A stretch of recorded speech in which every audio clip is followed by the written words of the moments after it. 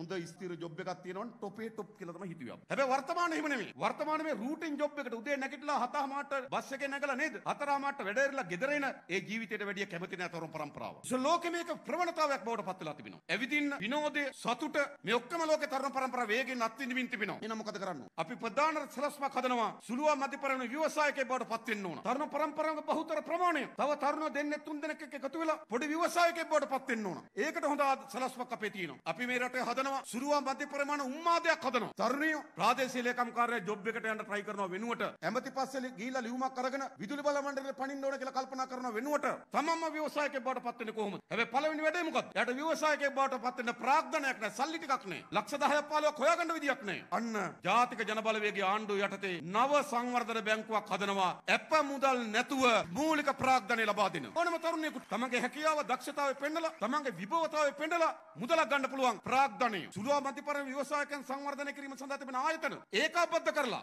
නිකන් සල්ලි දීලා හරියන්නේ නැහැ. ඒගොල්ලන්ට දෙන්න ඕන තාක්ෂණය. මෙන්න මේ විදිහට මේ වැඩේ කරන්න ඕන. ඒගොල්ලන්ට දෙන්න ඕන කළමනාකරන හැකියාව. මේ විදිහට මේ වැඩේ කරන්න ඕන. ඒගොල්ලන්ට දෙන්න ඕන මොනවද නිෂ්පාදනය කරන්න කියලා වෙළඳපොළ දත්ත. ඔයා බය නැතුව මේකට අත ගහන්න කියලා කියන්න ඕන. ඒගොල්ලන්ට දෙන්න ඕන මාකට් එකක් හොයලා. නිකන් හදලා ගෙදර ගොඩ ගහගෙන ඉන්න නෙමෙයි. මාකට් එකක් හොයන්නත් ඕන. ජාතික වශයෙන්ම ජාත්‍යන්තර මාකට් එකක්. එහෙම නැතුව ඔබ හිතන්න අවුරුද්දකට ආසන වශයෙන් ලක්ෂ 3ක් මාකට් එකට එනවා. ලක්ෂ 3ක් එනවා. රාජ්‍ය සේවයේ ලක්ෂ 12 13ක් තියෙන්නේ. ඒකත් දැන් ගොඩක් පිරලා තියෙන්නේ. කොහෙන්ද පුරවන්නේ? එතන පුරවන්න නෙවෙයි තියෙන්නේ. මේ නව තරුණ පරම්පරාවට අලුත් ආර්ථික අවස්ථා අපි හදනවා. සල්ලි ටිකක් ගන්නවා. වැඩේ පටන් ගන්නවා. වැටුනොත් මොකද කරන්නේ? ආණ්ඩුව නැවත මැදිහත් වෙලා ඒකෙන් ගොඩ ගන්න උත්සාහ කරනවා. කිසි කෙනෙක් try කරන්නේ නැහැ. හොඳ ව්‍යවසායකයෙක් බවට බයයි. අත ගහන්න බයයි. එයි Tamanට එහෙම પરම්පරාවක් නැහැ. තාත්තා ව්‍යාපාරිකයෙක් නම් පුතා ව්‍යාපාරිකයෙක් වෙන බය නැතු. බෑ අලුත් තරුණයෙක් ව්‍යාපාරිකයෙක් බවට පත් වෙන්න බයයි. ව්‍යවසායකයෙක් බවට පත් වෙන්න බයයි. අන්නේ බය අයින් කරලා ප්‍රාග්ධනය, තාක්ෂණය, කළමනාකරණය, වෙළඳපොළ දත්ත මේ ඔක්කොම හෙලා දීලා ගම් ඇතුලේ අලුත් ව්‍යවසායකයෝ හදන්න ඕන.